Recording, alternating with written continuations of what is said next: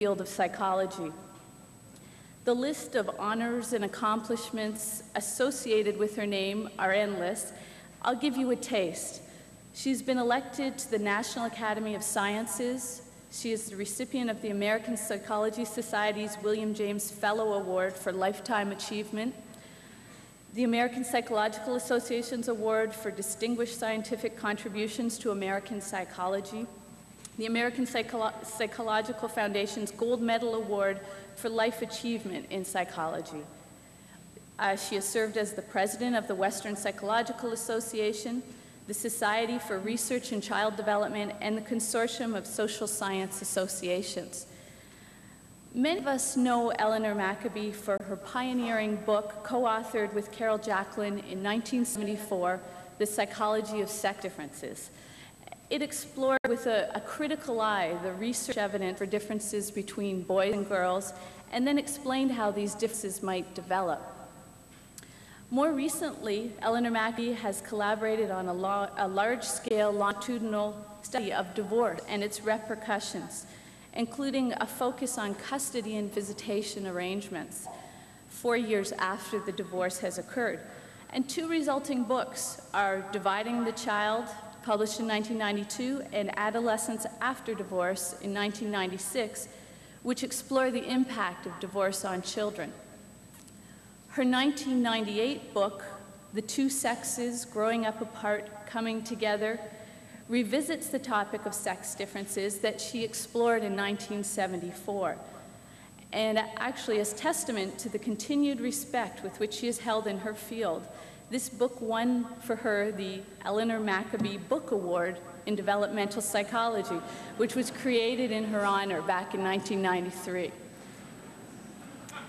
You know, it, it really is astounding when you think about it that someone who co-authored a book in 1957, Patterns of Child Rearing, is still critically examining how children develop over 40 years later.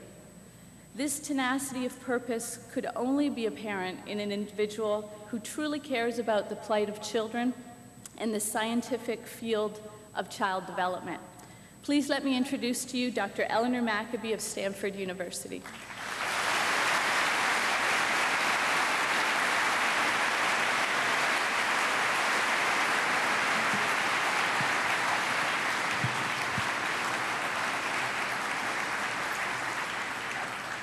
Thank you so much, Marie. This is wonderful for me to be back uh, at Gustavus. I was here at one of these wonderful conferences in 1973, I believe it was. I remembered this campus was very shady, and I was startled to come back and see what the tornado had done, but also very impressed at the rebuilding and all the planting of the new trees, and it won't be long before it will look shady again. Uh, I must say also that uh, what has happened over the years in the growth of the Nobel Conference is as impressive as can be, and I congratulate all of you who have been involved in this. But now let me talk about the nature of children and their nurture by parents. As you may know, I have been a long, lifelong student of child development. Oh, I know what that is. Yes. See if I can keep from knocking that off again. Um, and particularly, I've been interested in children's social and emotional development as this emerges from the context of interaction with family members and peers. It's from this perspective that I want to consider the nature-nurture debate. As all of you know, in the middle of the last century, the debate was quite subdued in that the field of psychology was heavily dominated by classical reinforcement learning theories, and child development was seen mainly as a process of learning a repertoire of habits and behavior patterns. Parents taught children to brush their teeth, tie their shoes, cover their mouths when they coughed, tell the truth, respect the property of other family members, and so on. With many repetitions, these things were expected to become nearly automatic internalized. Child rearing was seen mainly as a top down process in which parents and teachers were the ones who set the agenda of what children were to learn and who guided the learning process by serving as models and by selectively providing rewards for desired behaviors and punishments for undesired ones. In those early days, nature was not entirely ignored. People did know about physiological maturation, including maturation of the brain. They knew that maturational processes produce some predictable changes with age in what children are capable of learning or in acting. The results of some of the early twin and adoption studies were also widely known, so that some genetic contribution to individual differences in certain of children's characteristics were acknowledged. And you would find those twin tables showing a comparison of identicals with fraternals in any introductory text. Still, these manifestations of innate factors were somehow kept in a separate intellectual compartment, and the major research efforts were devoted to exploring the connections between aspects of parental treatment of their children and the characteristics that the children had developed. Some connections were found. Alfred Baldwin, for example, in 1955, summarized the kinds of child behavior that were typically found in homes with different child rearing regimes and different household atmospheres. He reported that in homes where the families emotionally rejected their children, the children were often insecure, stubborn, non compliant, and had adjustment difficulties. But in accepting harmonious and democratic households where discipline was consistent, firm, and fair, the children were usually well adjusted and cooperative. Baldwin interpreted these findings as showing that the way children were treated by their parents had a major impact on how well adjusted they became. A chorus of dissenting voices began to be heard in the late 60s and 70s concerning the direction of effects when connections of this kind are found between parenting and children's outcomes. Perhaps, Bell and others said, such connections could reflect the effects of children on parents rather than vice versa. This dissent was only one of a number of converging newer theories and new bodies of data that began to influence the nurture nature debate. One important influence came from developmental psycholinguistics, especially Chomsky's claim that there must be an innate language acquisition device that enables children to learn language as rapidly as they do.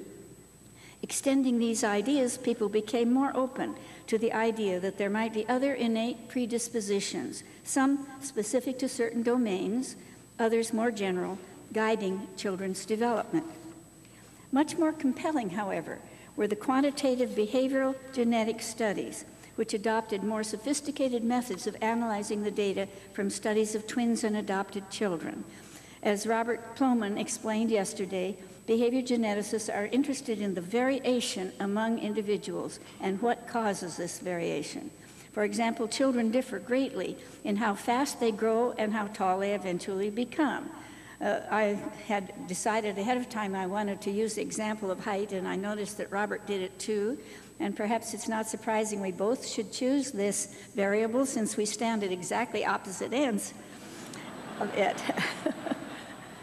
um, do children differ because they are some are raised in healthy environments with plenty of nutritious food and good medical care, while others are undernourished and neglected? Or is it simply that some have tall parents and others have short parents, and height is encoded in the genes that a child inherits?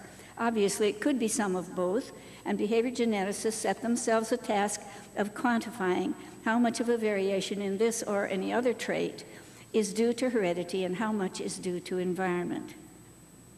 While behavior geneticists certainly can ask and do about the heritability of physical characteristics, such as height or weight, or the incidence of certain diseases, they have focused extensively on psychological traits, that is, on the relative contribution of nature and nurture to individual variation in such attributes as intelligence, calm or excitable temperament, aggression, or special talents such as musical ability. As you probably know, their analysis starts with the additive assumption. Heredity and environment, they say, together account for 100% of the variation in any human characteristic.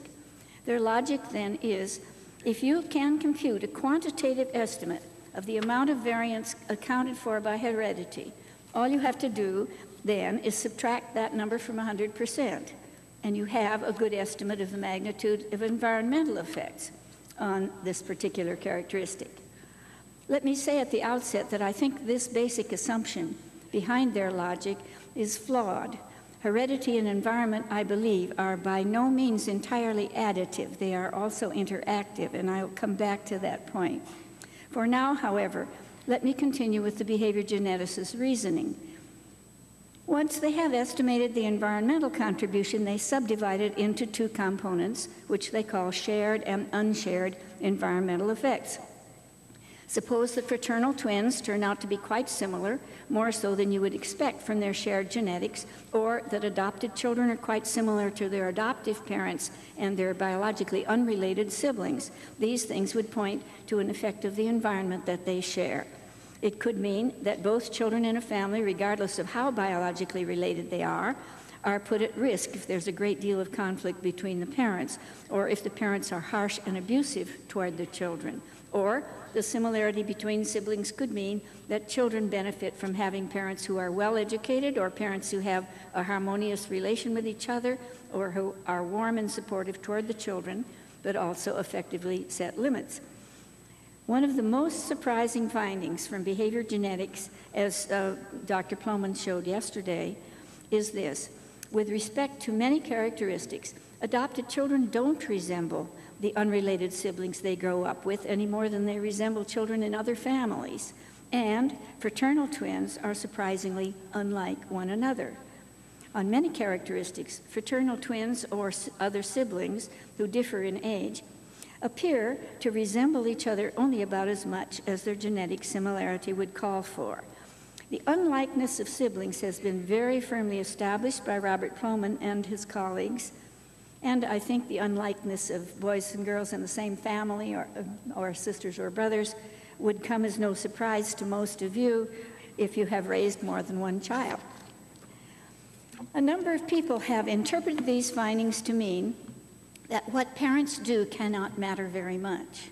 They can't do much to improve the functioning of a child who starts out with bad genes, or do much to damage to children who start out with good genes.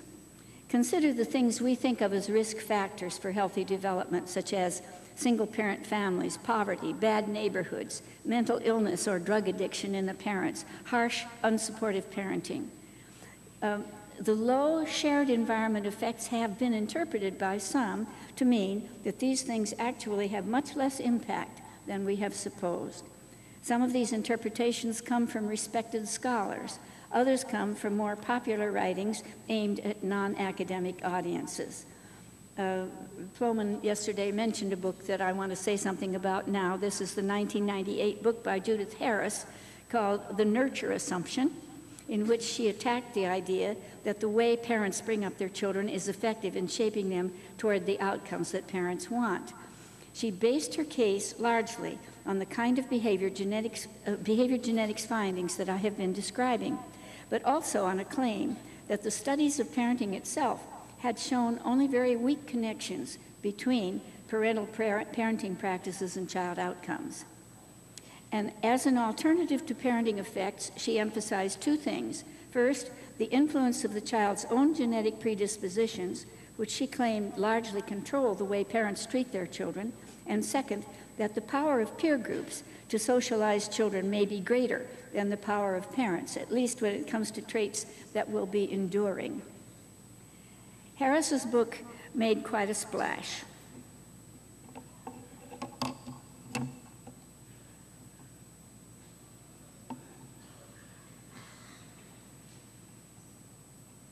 There we go. Um, this is the cover of Newsweek, and uh, based mostly on Harris's book, they raised this question Do parents matter? Very provocative kind of title, and uh, they, that they hope would draw some readership for them. Um, the New Yorker, which is usually very careful, uh, came out with a very glowing review of the book um, with the same title Do Parents Matter? These articles were essentially friendly reviews of Harris's book why were the media so fascinated by it? Partly, I think, because it's always fun to puncture the pretensions of experts and reveal their feet of clay. But also, Harris's message was seen as a life preserver for parents. The message was you don't have to blame yourself if your children are not doing well. But there are also political implications. If parents don't matter, there's no reason to spend public money on programs that try to help parents be more effective in socializing their children. There have been some strong reactions to all of this from serious scholars. Child development scholars certainly do not reject some of the primary claims of behavior genetics. Twin and adoption studies do indeed show that individual variation among children is strongly affected by their genetic predispositions. But it's important to understand just what it means and what it doesn't mean when we learn that some trait is highly heritable. Does it mean that it's not influenced by environment? Not at all. Consider height once again, for example. Tall parents do have tall children, and the children of short parents are usually short too. The heritability coefficient derived in twin studies is in the 90s, leaving very little room for environment to have any effect. Yet we know that Japanese American children are, on the average, nearly four inches taller than their grandparents living in Japan, from which we see that a human characteristic can be both highly heritable and highly susceptible to environmental influence. We get a similar picture from population changes over time. And here again, I'm using the same example that came to Bob Plomin's mind. We know that the shape of our bodies is to some extent heritable, and that fatness does run in families, and at the same time, there is a substantial increase in obesity in our country at the present time. And it's not happening because our genes are changing. It's a pure environmental effect superimposed on whatever dispositions to be fat or thin that an individual may have. It means that there may be an increase in the average level of a, class, of a characteristic in a population without necessarily changing the rank order of individuals in terms of their individual vulnerability to obesity. I believe this is what we were seeing, are seeing in, case, in studies of adopted children, where it often turns out that some trait let's say their IQs, is significantly correlated with the IQs of their biological parents, not their adoptive parents. At the same time, the average IQ of adopted children is higher than that of their biological parents. I've drawn a schematic here. This isn't real data. Um, it's as though each child gets a bonus in achieved intelligence from growing up in more advantaged circumstances than the biological parents would provide. So here's the biological parent's IQ, and here's the child's, and you will see that the children maintain the same rank order as their parents did, their biological parents, but they are all higher than their biological parent. A large environmental intervention, then, such as adoption, can be like a rising tide that lifts all boats. In the example illustrated here, the original rank order of the children, based on their biological origins, is not disturbed, even though their mean score has risen. But of course, in real life, not all children will be benefited to the same degree, and the rank order will be somewhat rearranged. Still, a significant correlation between the children and their biological parents can still be maintained, while the children as a group are doing better than their parents. Please understand, all of this is not a criticism of behavior genetics. They study how and why a trait varies within a population, not how or why the average of the whole group goes up or down. I only mean to call attention to the fact that we can seriously underestimate the importance of environmental effects if we pay attention only to individual variation and not to mean changes. Consider that almost all parents succeed in teaching their children to tie their shoes. That's a strong parenting effect, even if it cannot be revealed by studies that rely on variation and correlation. In the popular treatments of nature nurture issues, claims about the strength of genetic influences and the weakness of environmental ones can be quite sweeping and they downplay important exceptions where influences of the home environment children share emerge quite clearly. Standard behavior genetic analyses reveal quite strong shared environmental effects for several tra- traits, specifically anxiety in children, aggression, and the quality of a child's attachment to a parent. For these traits, then, certain aspects of the in home environment that siblings share do indeed influence siblings in a similar way, pointing to an effect of the family environment rather than to the child's genetics. Thus, if a child shows an insecure pattern of attachment, the root of this problem are more likely to be found in a parental characteristic such as maternal non-responsiveness than in the child's genetic predispositions. And siblings are likely to resemble one another, regardless of how genetically related they are.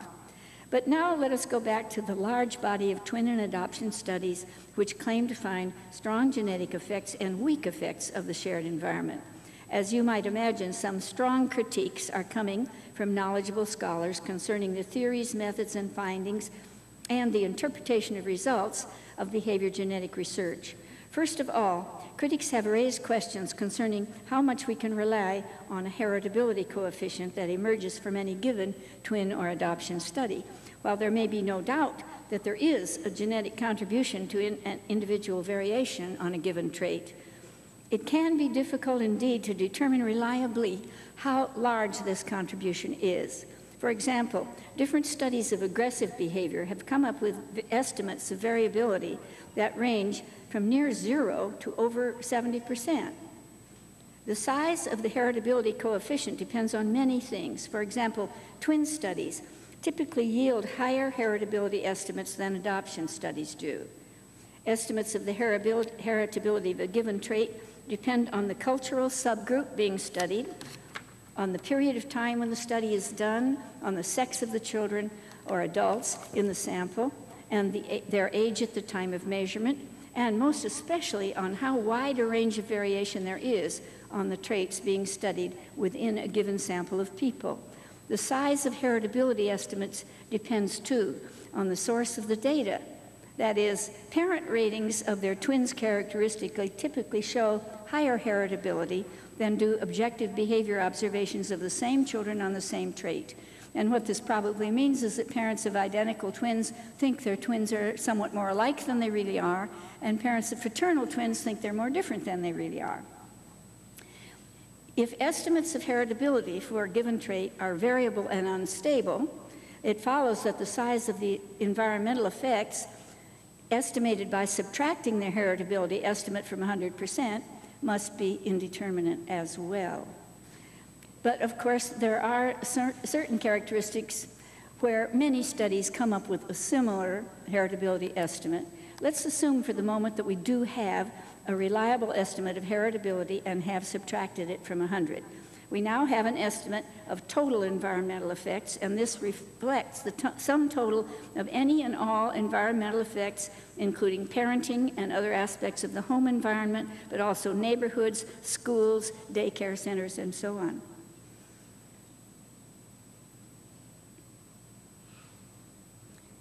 We can subdivide this total environmental effect into shared and unshared effects.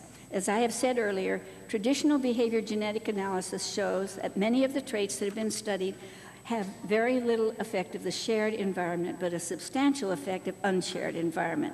This might seem to mean that nothing about the home environment that children share, where they grow up together in the same house with the same parents, is having any effect. But it's important to be clear, as clear as we can, about the meaning of unshared environment. The term can reflect can refer to the fact that even when children do grow up in the same family, they can be exposed to different environmental inputs. An older child, for example, has to deal with a younger sibling, while a younger child is continually exposed to a sibling who is larger and more competent. Within a given family, one child may be especially favored, or one child may become the family scapegoat and receive more negative parenting than the other children. We should note that children are very sensitive to differential treatment by their parents. And sometimes it's more the difference between siblings in the way they are treated than the absolute level of positive or negative parenting that they receive that is related to their adjustment. But a behavior geneticist would ask, why is one child in the family singled out for especially positive or especially negative treatment? Might it not be something about the child? Whether the child is especially attractive looking or especially homely, whether the child has an easygoing temperament or a jumpy, irritable temperament, that these things may trigger positive or negative reactions from the parents. Of course, this is not only a plausible explanation, it has been shown that these evocative effects of children on their parents' reaction, uh, they, that has been clearly demonstrated. For example, we know that if an adopted child carries a genetic risk for antisocial behavior, that is, the child's biological parent has a history of antisocial behavior, that child is more likely to receive negative coercive parenting from an adopting parent than an adopted child who carries no such risk. Presumably, this difference arises because the genetically at risk child misbehaves more often and calls for stronger parental reactions. On the basis of such data, some geneticists are comfortable about assigning any correlation between the child rearing activities of a parent and the behavior of a child to the child's genetics. I am not comfortable about this because it ignores the return feedback loop. And indeed, in the study I just described, negative coercive parenting had its own effect on the adopted children's adjustment independent of the child's genetics. The fact is that whatever the child elicits in the way of parenting responses from a parent, that parental response in its turn affects the child over and above the child's starting point. In conflictual situations, one can sometimes see an escalating cycle where parent and child each trigger higher and higher levels of anger in the other, or a dampening cycle in which each in turn makes a, a positive move that helps to calm the other down. Parent child interaction is highly reciprocal.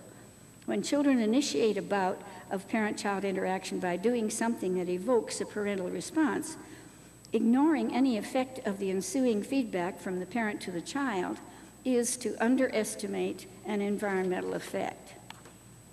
But this all simply underlines the fact that different children in a family can indeed be exposed to different home environments, even though they're growing up in the same house. And presumably, this can contribute to differences in the way two siblings develop. In some ways, though, I think it's more interesting when some environmental event that the children actually do share, such as parental divorce, has a different effect on one child in a family than on the other.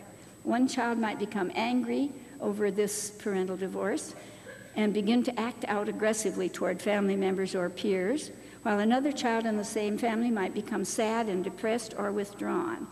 Both are behaving differently than they would have if the divorce had not occurred, and therefore the divorce is having an effect.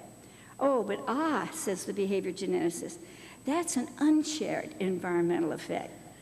Anything that makes siblings more different than more alike, we call unshared.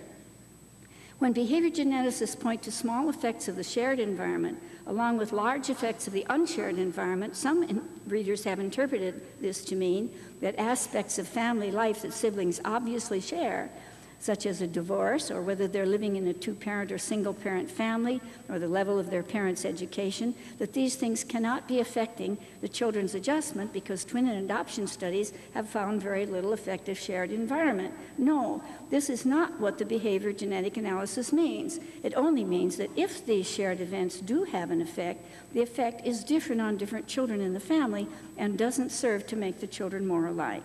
Clearly, we need to think of two kinds of cases in which, which behavior geneticists have labeled as unshared environmental effects. The case where two children in a family are actually exposed to different environmental inputs, as when their parents treat them differently, and in the other case, when they share exposure to the same environmental input, such as high parental conflict, but perceive it differently and or react to it differently. I believe it's unfortunate that these things have been called by the same name because it fosters the idea that environmental effects, events that the children in a family are actually all exposed to are having no effect, whereas in fact, a shared event can have a distinct effect on one child but not the other, or on both child, children but in different ways. And these are clear environmental effects that emanate from environments that children share. They need to be acknowledged as such, whether or not they make children more alike or more different. Critics remind us that in traditional twin and adoption studies, there are no direct measures of environmental conditions. Environmental estimates are merely residuals, what's left over after the genetic influences have been subtracted out. Critics have been urging that we need to include measures of environmental factors directly, and in recent years there has been a substantial accumulation of studies in which direct measures of the rearing environment, including the quality of parenting, are available for children whose degree of genetic relatedness to their siblings or their parents is known. One of the most intriguing of these is a recent study by Deater-Deckard and colleagues. He's a young man at the University of Oregon. They selected 61 pairs of identical twins. It's not easy to find 61 pairs if you just from your community, but they did. Um, all of these children were close to three and a half years of age. They, they observed each twin separately in interaction with the mother.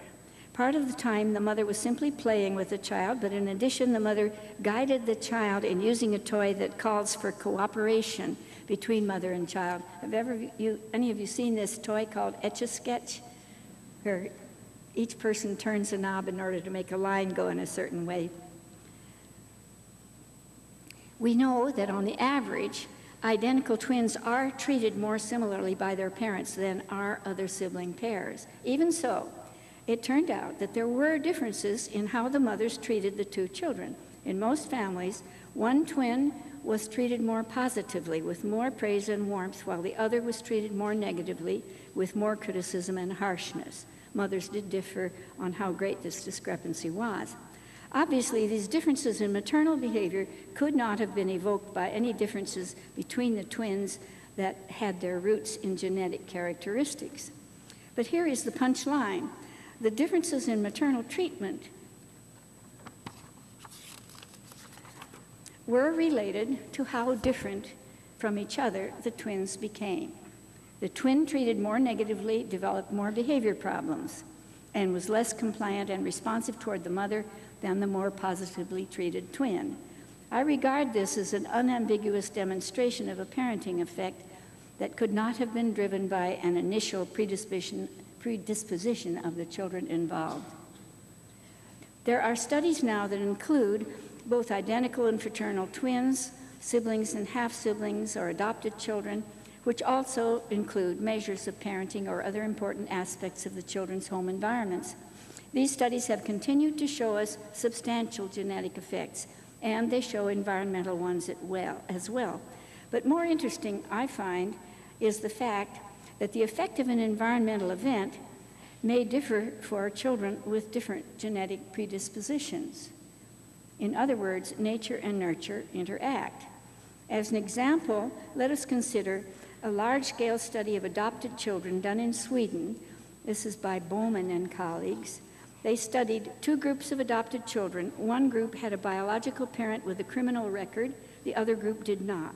One could say then that one group may have carried a biological predisposition to engage in criminal activity.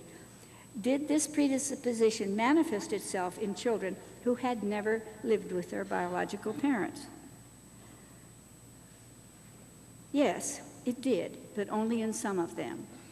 Some of the children engaged in acts of petty criminality as they grew toward adulthood, but whether they did so depended only slightly on what their parents, biological parents, had been like if this factor was considered in isolation.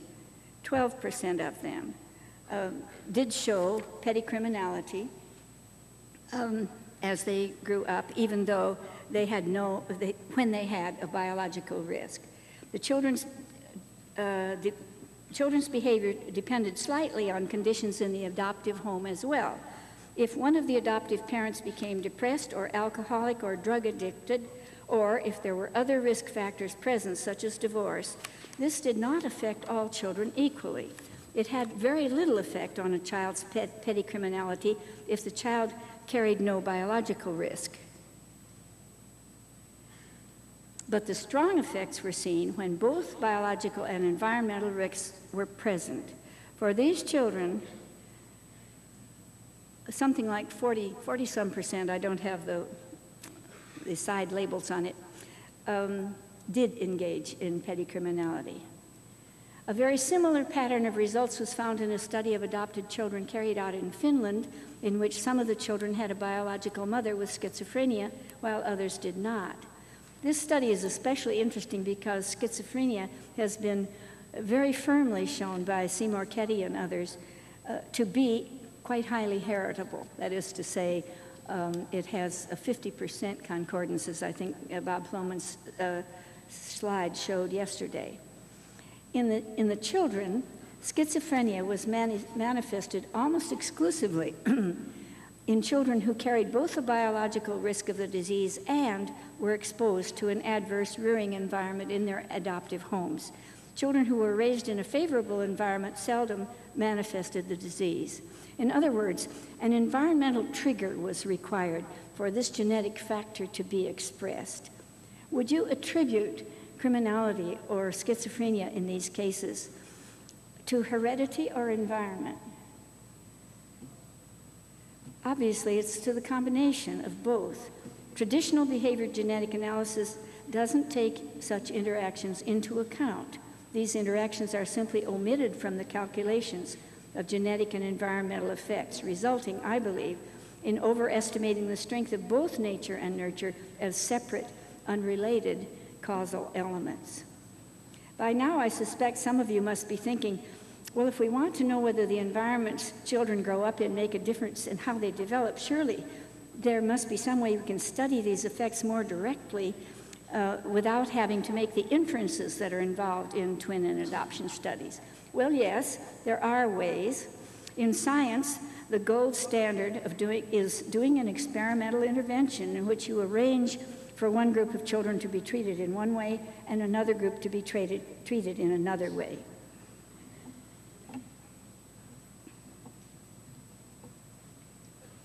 Then we can see whether they differ later on in ways that are related to the treatment they received.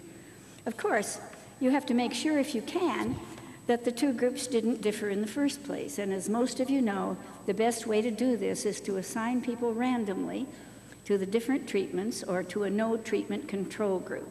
If you have enough cases, you can be sure within known limits that the average scores of the people in these groups didn't differ initially on any attribute that might confound your results. Obviously, we can't assign children at random to different sets of parents or different kinds of home environments. However, we do sometimes find an experiment of nature that comes close.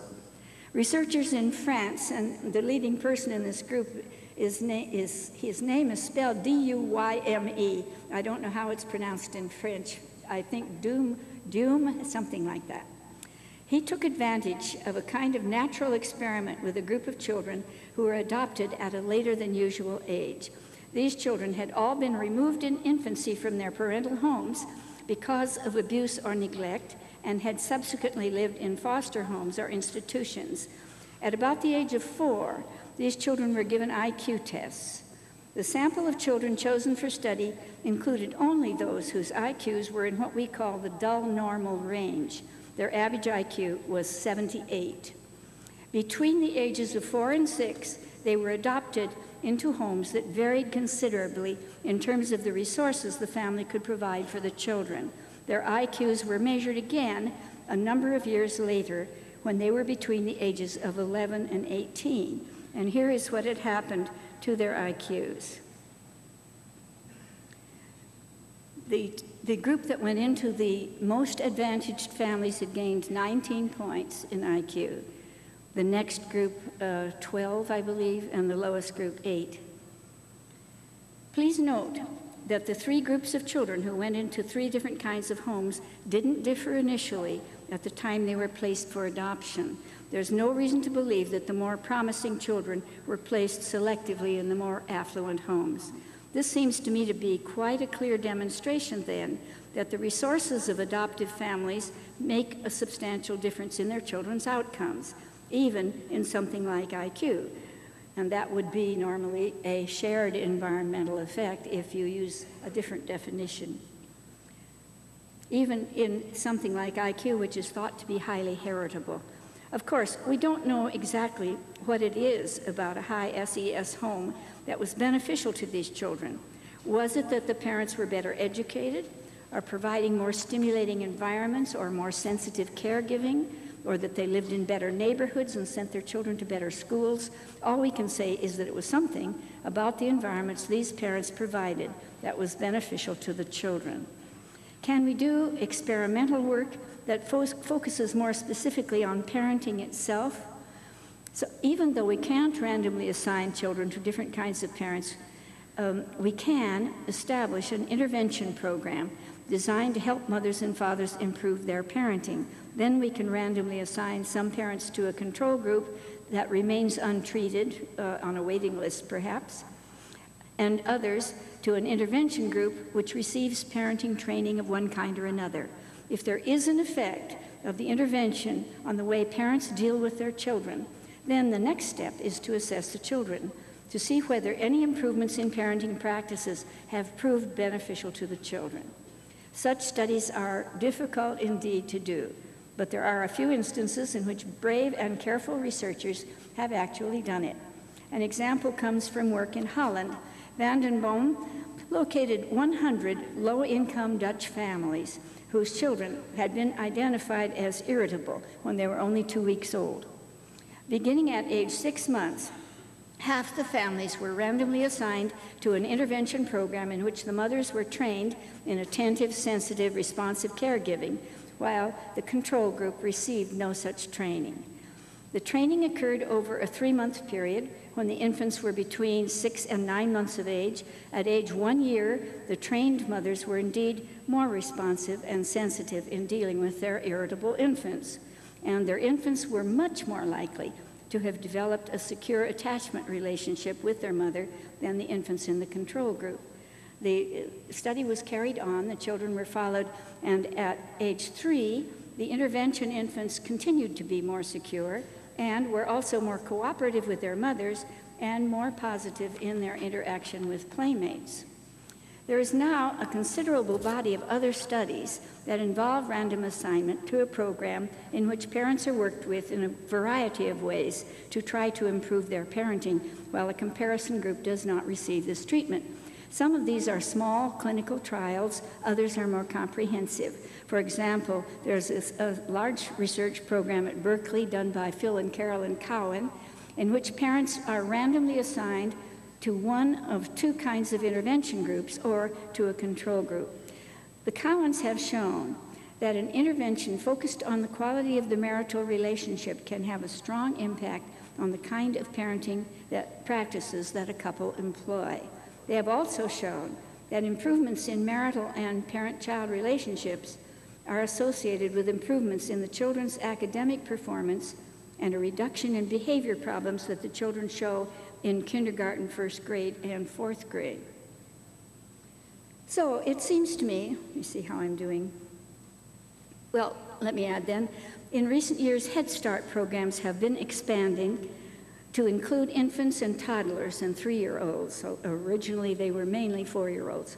Some Head Start programs are entirely home based, in which visitors provide support and training to the mothers. Some are entirely based on working with the children in child care centers, and others are mixed, involving intervention with both the mothers at home and the children at a daycare center. The results of studies in which children have been randomly assigned to a Head Start program or a waiting list are shown, showing that children make the best progress in the mixed programs, indicating that providing support to the parents adds a significant increment to the benefits children derive from being enrolled in a Head Start center. It seems to me that uh, if we add up the research that I've been telling you about, it offers clear evidence that children's home environments can and do make a significant difference in how well they fare. In view of these findings, you may wonder why there are still voices emphasizing genetics so heavily. First of all, we know, I believe, that both genes and home environment can play a substantial role, but we may have overemphasized genetics partly because of the excitement over the race to complete the mapping of the human genome. Scientists everywhere have hoped and expected that now that this process is complete and the human genome is unlocked, it will be possible to find clues to the causes and processes underlying a vast array of human diseases and psychological vulnerabilities, as well as an array of human skills and exceptional talents. Our new knowledge from molecular genetics has paid off notably in a number of instances. But some of the findings have been sobering too.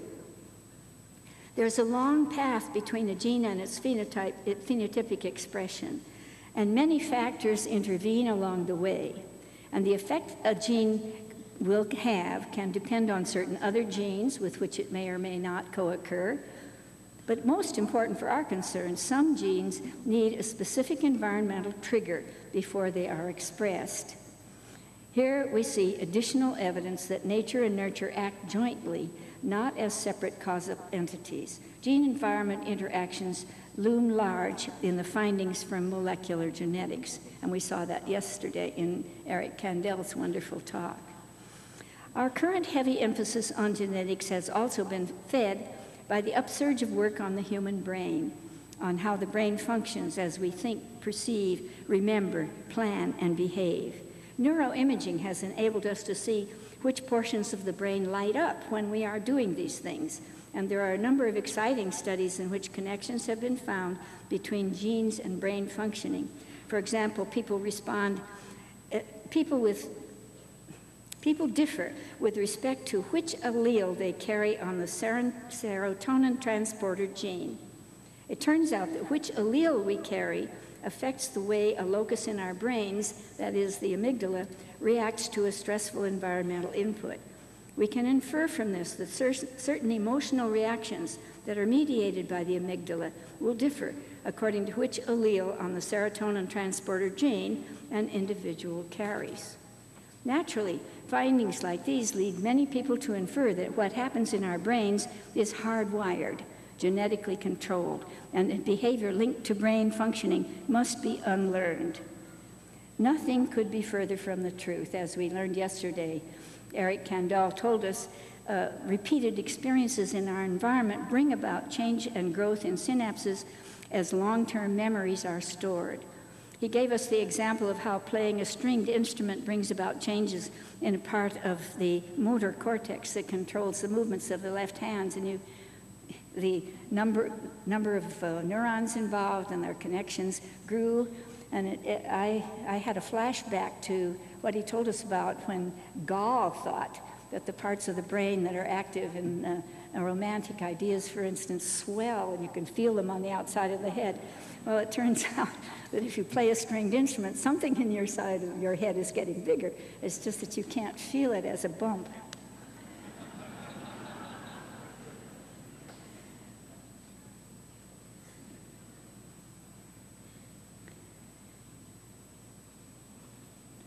So the input, inputs we get from our environment, including being trained and educated in certain ways, help to shape how our brain capacity is deployed and what connections will be formed as learning occurs. And of course, there are constraints by the brain's own um, architecture that will determine uh, also or pr produce constraints on what kind of changes can, these can be. And both of these things change with age. The brain matures, so that there is an increasing participation of the frontal cortex in performing certain tasks. At the same time, a vast accumulation of knowledge is occurring based on cumulative experience with the environments, and our brains store this knowledge and make use of it as we make our way through the enterprises of our daily lives. So, the nature of our brains and the environmental inputs provided to our brains jointly act, not as two separate causal factors. As I said earlier, the nature nurture debate recently took the form of claims that children are strongly influenced by their genes, but not much influenced by the way they're brought up by their parents. So far, I've been presenting evidence that children's home environments do indeed matter, but I haven't said very much about parenting itself. First of all, let me say that I believe the motivation to care for and protect our offspring is deeply encoded in our genes. But what is required of parents in order to carry out this biological imperative has changed greatly over the history of our species, and the process of raising children always co occurs with an array of other necessary tasks. In the modern world, parents differ greatly in how salient child rearing is in the total mix of their activities and goals. We now have an extensive body of research in which parents and children are observed interacting with each other. We find that from infancy on, interaction is a highly reciprocal process. Parents and children typically respond to one another's moods with congruent moods. Each is more likely to react to a cross or complaining initiative by the other with a negative response than a positive one, and positive approaches tend to engender a cooperative response. Parent child pairs have hundreds, thousands of interactions over years of time. Each pair develops a unique relationship in which each knows intimately what to expect of the other, how fully the partner can be trusted, when to back off, and when to make an attempt to influence the other. Indeed, both parents and children sometimes react to one another more in terms of their stereotypes about what the person is likely to do than to the specific thing that the partner has just done. But the parent child relationship cannot be symmetrical uh, in the way that it could be between two intimate adults who develop a joint agenda and try to act in the other's best interests as well as their own. The parent child relationship is essentially unbalanced because the parent has responsibility for the child's welfare and socialization while the reverse is not true. So that of necessity, the parent and child frequently don't have the same goals, and parents of necessity have more authority. But also, the parent is a grown up. And this usually, although not always, means that the parent has better impulse control than the child, has better, to think, better ability to think of long term goals than only responding to immediate pressures, better ability to understand the child's point of view and the child's needs than the child has to understand the parents. So, any parent child relationship is a melange involving differential authority, unequal resources, but also reciprocity. Families differ greatly in how these ingredients are combined. There are societies in which parents actually seldom talk with their children and where children are not bargained with or their wishes consulted.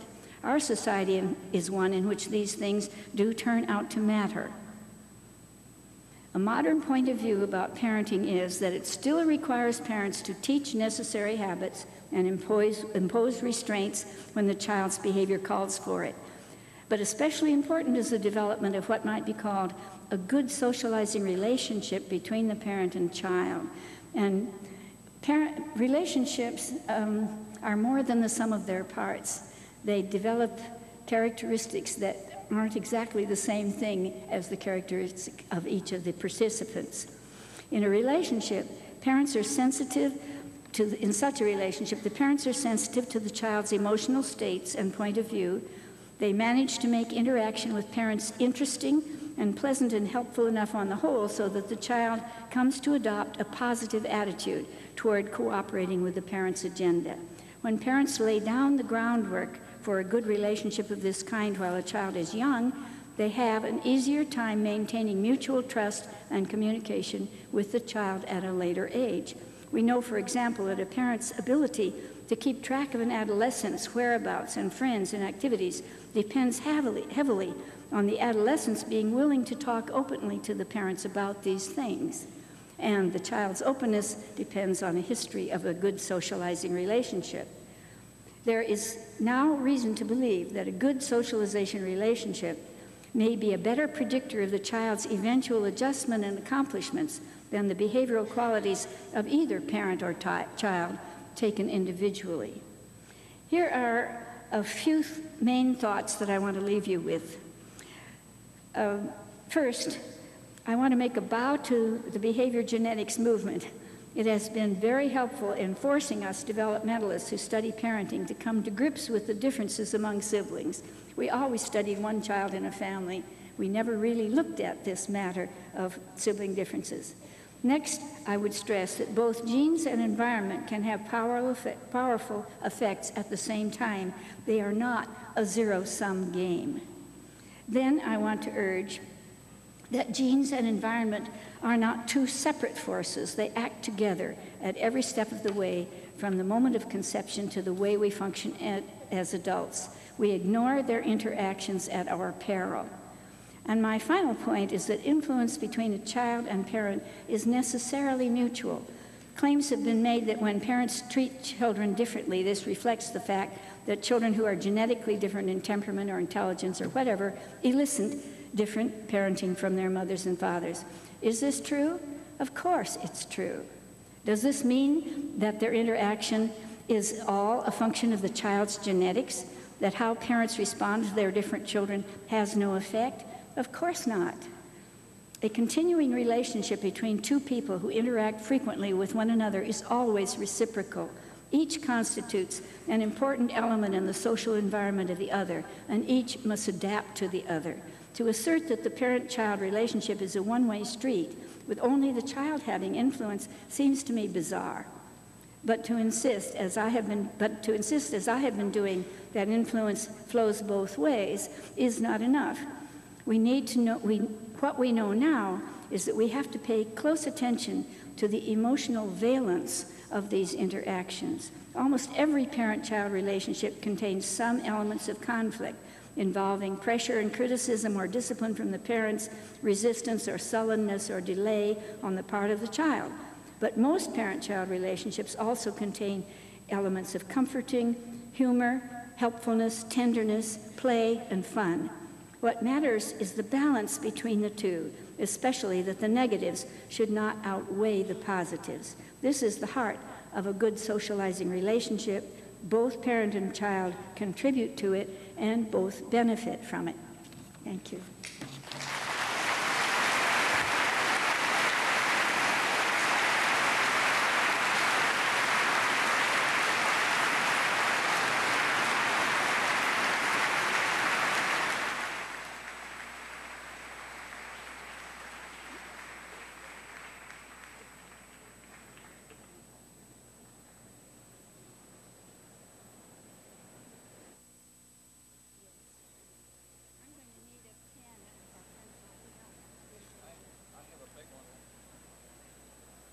Does that make big? That makes big marks. That's all right, I guess. No, we'll get one from someone else.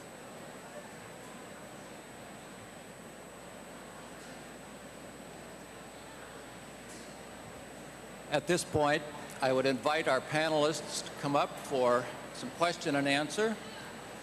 If you have questions for Dr. Maccoby, please write it on a piece of paper and send it to our ushers, and they'll bring them up front.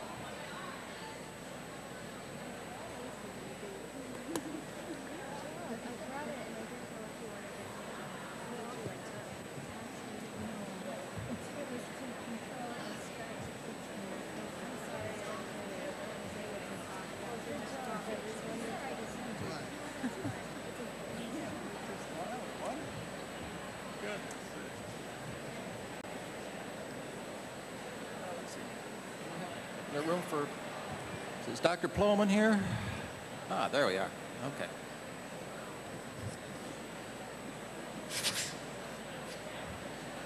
Very nice, though. That was lovely. What? Eleanor, why don't you come over one more here? All right.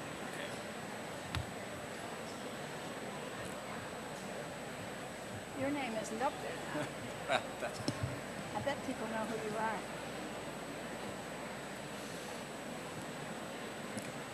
Why don't you move over? Yeah, there we go. Well, let's begin our question and answer session. Would anyone on the panel like to offer a comment or have a question? Dr. Rapoport. Sure. Well, um, I think what's been so exciting about the last um, decades of research have been that there's been more elaboration of the complexity, starting out with the assumption that, of course, both genes and environment are important. And so my comment would be that there are several interesting studies that I think make the complexity even, even more, more hard to understand and um, uh, that I think deserve to be addressed in, in, a, in a debate and attention that will go on uh, past all of our lifetimes, I'm sure. Um, one is some studies, there are several, but one is by Dr. Plomin, in fact, forgive me for presenting this, in which it's shown that uh, cognitively adopted children as they reach adolescence resemble their adopting their biological parents more than they did when they were younger. That is, as they get older, they resemble their biological parents more, suggesting that there are certain uh, genes that probably act later in development. Similarly, in child depression, there's some evidence that children with a very early onset, prepubertally, are less likely to be genetically loaded for depression than children with adolescent onset. I'm just saying that there's a whole host of studies developmentally that suggest that it's far more complex and that certain genetic influence can in fact come in later.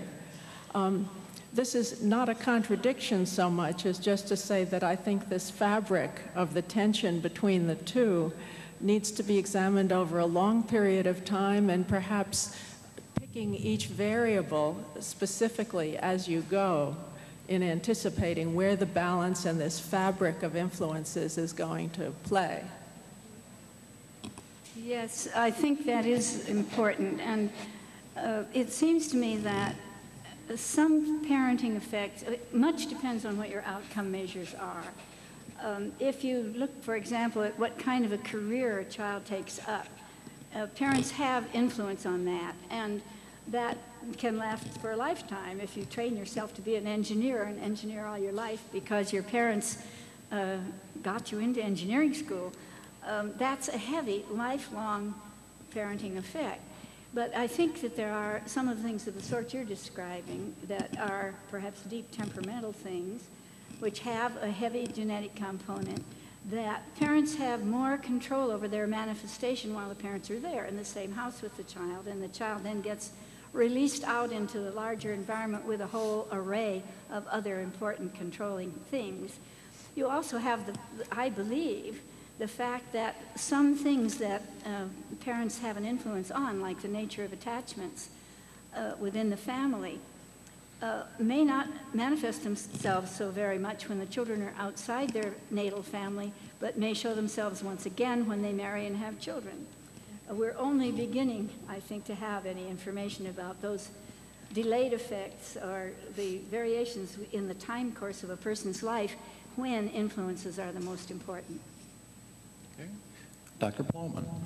I'd just like to say how much I um, enjoyed the talk and really agree with almost everything that you said, which is um, an amazing change, really, in developmental psychology, where it isn't a matter of a confrontational issues. I thought that uh, Professor Maccoby presented the results in a very fair and honest way. I mean, it wasn't a polemic at all. It was really, you know, really honest and pointing out the problems with the research that's been done so far and that um, she agreed genetic influence is important, that non-shared environment is important, with some interesting interpretation issues about when does shared things become non-shared, which is, Judith just said, is an important direction for future research.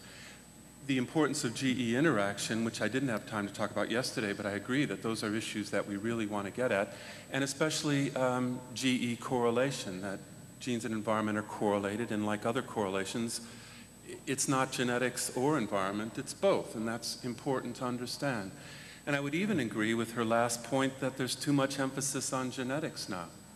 I mean, especially in the medical sciences or psychiatry, I mean, you'd think schizophrenia is a genetic disorder, but you know, it's not. The concordance of identical twins is 50%. The news 20 years ago was the concordance of identical twins is 50% as compared to 1% in the population. That's part of the story of genetic influence. But it, it doesn't mean it's all genetic. If, if there is significant genetic influence, it doesn't mean it's a genetic disorder because the story now is that identical twins are only 50% concordant. That means half of the time these clones are different in terms of their schizophrenia outcome. And you can't explain that any other way than to say it's environmental. And who's studying the environmental component of that? Or even worse, yesterday I mentioned the example of breast cancer, where you'd think breast cancer is a genetic disease, given what you hear about these two genes that have been identified. But 85% of the time, identical twin women are discordant for breast cancer. One has it, and the other doesn't life term. So, by far, the most important cause of, of breast cancer is not genetic. And people aren't studying that because of all the um, excitement about the Human Genome Project and DNA. So I would really, you know, second, what I think is the most important message from her talk is that both nature and nurture are important, and we ought to be studying both, and especially we ought to be studying both together.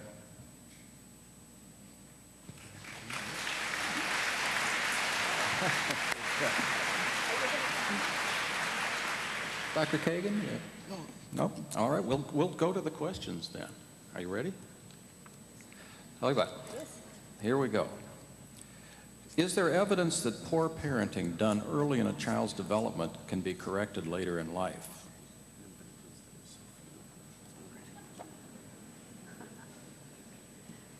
I think it depends upon how much later you're talking about. I certainly do know that some of the intervention studies have dealt with parents of, say, six-year-olds, where uh, this, there's a particularly interesting one in Oregon where uh, the mothers are all single parents and they're all dealing with a six-year-old boy who has been acting out and defying her. And the training is to teach her how to not let herself be coerced with, by that child without becoming violent toward that child. Um, and they are making inroads on this with mothers who have had this child for six years. Whether you can can heal parenting and the parent-child relationship when you've had bad things happening for 13 years and the child is now an adolescent, I don't know. Does anybody else know?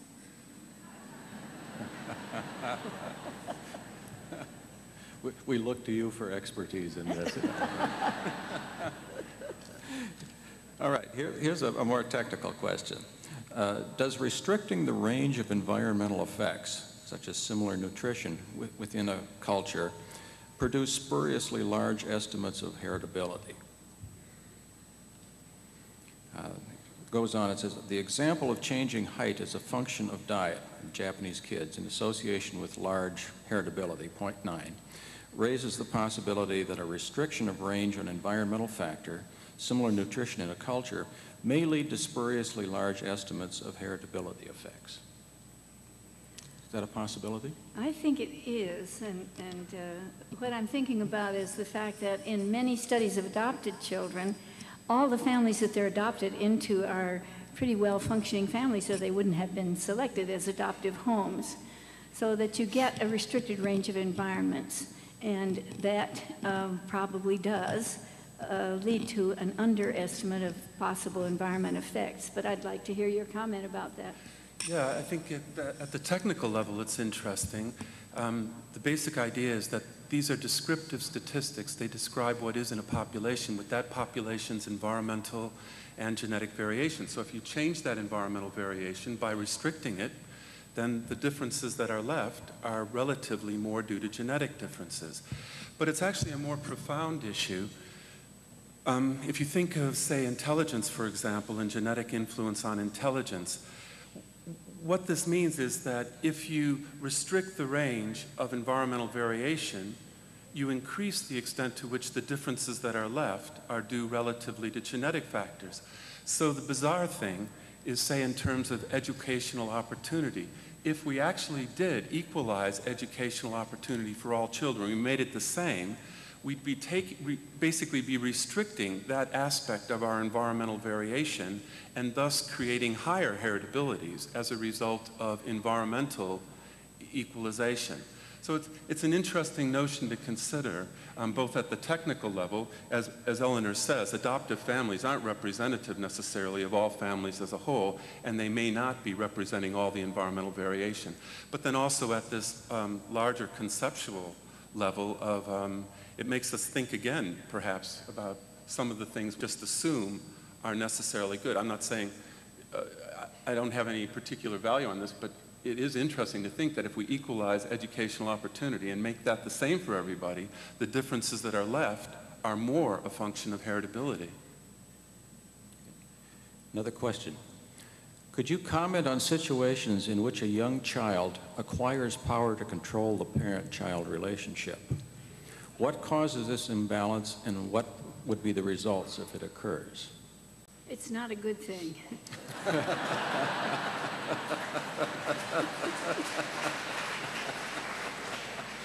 and what causes it, I think, mainly, oh, it has a variety of elements. Some parents honestly are reluctant to be in authority over their children.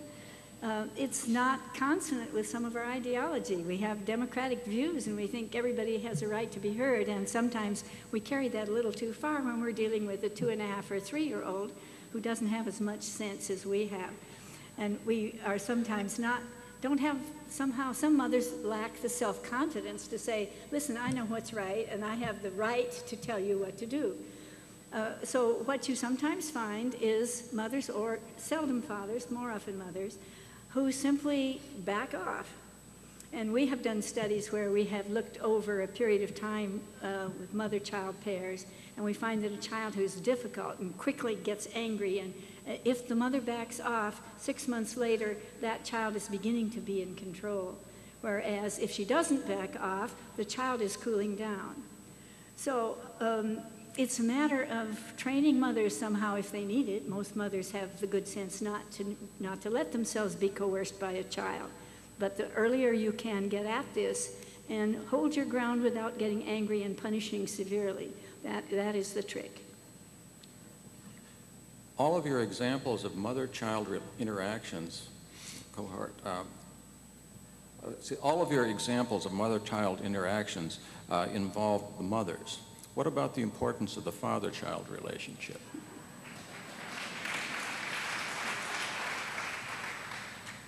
I think that fathers are infinitely important. Uh, I also think that mothers and fathers, uh, nor- normally, uh, that's not the right word, usually, uh, have a different role in the family and a different relationship with children. Um, nowadays, fathers are clearly becoming more involved in the day to day interaction with children than they used to be. There is also a, a com- companion phenomenon called father's flight from fatherhood. Um, fathers are spending a larger and larger proportion of their lifetime in households with no children. Divorce is partly responsible for this. Single parent households are almost entirely mothers, not always, but very largely, so that the father is living somewhere else, he's not with his children. Uh, marriage is delayed, and fewer children are born to families. The, the drop in fertility is absolutely astonishing. I was just recently hearing about what's happened in Quebec where the drop has been from seven and a half children per family down to 1.7 or so. That's the largest drop anywhere in the world. In Japan, the drop is huge. So both sexes, in a sense, are withdrawing from parenthood, marrying late, having fewer children, uh, trying to keep other enterprises in their lives going more actively, especially for the women. Um, you may, I, I have seen for a long time as a feminist the objective that men and women should have exactly the same responsibility for and involvement with children. Uh, we, we women have made fantastic gains over the last 50 years, as I have seen them, in terms of uh, openness of the workplace of, at all levels to us and uh, the kind of education that's available to us. We have not made that kind of gains with respect to the balance between caregiving uh, by mothers and fathers. We've made some gains, but really they've been very slow. Um, it's a big social experiment, and we still don't know how far that movement can go. I have a gut feeling that women are going to continue to be more involved with the nurturing and care of very young children. I notice that when women are freed from the home by sending their chi- children to a child care center, who's taking care of the children at the child care center? It's women. And that is the case the world over. So um, I think that it's time for us feminists to get that onto our agenda to try to understand and come to grips with the fact that child rearing is what many women really want to spend some of their lives doing and want to do it right while at the same time maintaining all the other things that are possible to us now with our long lives.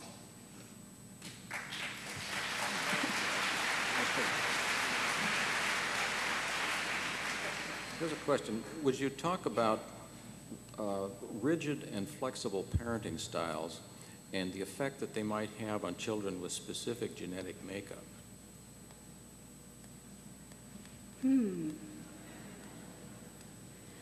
Ah, I'm going to get out of my field of real expertise here because I don't know a lot about the par- parenting of children with specific genetic problems. I'm thinking that for some children, um, I believe some autistic children and some hyperactive ones, it's important to have a fairly inflexible environment, that is, a predictable one uh, where the, the child is not overstimulated, the environment is controlled so that the child has only the things they can deal with. Perhaps an inflexible parenting style, if that's what you want to call it, would help those children. That's what they try to achieve in the centers where they offer daycare for such children. Which children benefit most from flexibility? Teenagers, I think. An extension of this, what, what is your take on parents who want to be their children's pal or best friend? Well, I'm old fashioned in this respect. I feel that uh, parents have an authority role, and I know that's, that this does not preclude at all having periods of time where you're acting as a pal, when you go camping together and have fun. That doesn't change the fact that it is the parent who's responsible and in charge. Now, of course, during adolescence, what you have to do is gradually let that go and move more, if you can, toward a, a, a, a relationship of greater equality. Throughout childhood, however, I think that it benefits everybody if certain authority lines are understood. Let's have one last question here. Should parents be required to carry a license to parent that reflects at least minimal competence to do the job? No. no, and I have imagined uh, a kind of world where we would have tests of the sort that we now have pervading our entire school system of competence in parenting. I shiver. I think that it's wonderful that we have a huge variety of parenting. I do know that there's, there is parenting happening that's damaging to children. We ought to have social programs to either try to help those parents do differently or protect the children. And we do have such things going on. Uh, but considering the wide range of parenting that doesn't get into that kind of dangerous category, um, we want variety. We want variety of outcomes. And I, I think what you were saying yesterday, Jerry, about the importance of making sure that children who are uh, highly reactive, that their special talents and, and possibilities are protected. The same thing is true of parenting that resonates nicely with such a child and doesn't resonate nicely with another child. We want both kinds to be there for children who need it. Well, thank you very much for your attention. Thank you very much, Dr. Maccoby. We'll adjourn until 1 o'clock, when we'll hear from Dr. Rapoport. You know, um, I think